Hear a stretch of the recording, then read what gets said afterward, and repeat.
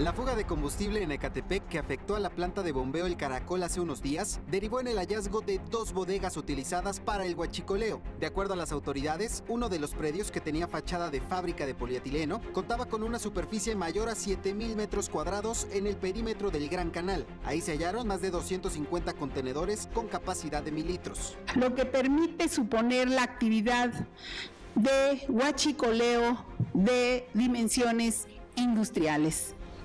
Aún no se puede determinar cuántos litros de combustible están en los predios porque no se tiene una orden de cateo. Sin embargo, ya se abrió la carpeta de investigación para determinar qué grupo estaría involucrado. Pueden ser eh, prácticamente años los que pudieron estar operando esta, esta red y se tendrán que eh, delimitar las responsabilidades contra quién resulte en este caso.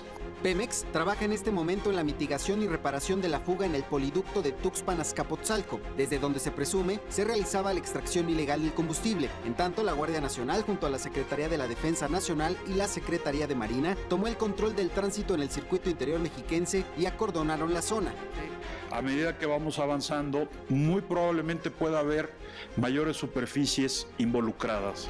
La fuga fue tal que la Comisión Nacional del Agua colocó trampas de hidrocarburos en algunos puntos para contener la gasolina y evitar afectaciones en la calidad del agua. Sin embargo, aún se desconoce la cantidad de combustible derramado en el túnel emisor oriente. En tanto, la Coordinación Nacional de Protección Civil descartó riesgos para la población prácticamente no se está detectando combustible en las aguas. De acuerdo con la Secretaría de Seguridad, el robo de combustible disminuyó de 4.600 barriles diarios en el 2020 a 3.000 en lo que va del año. Mega Noticias, Alejandro Piña.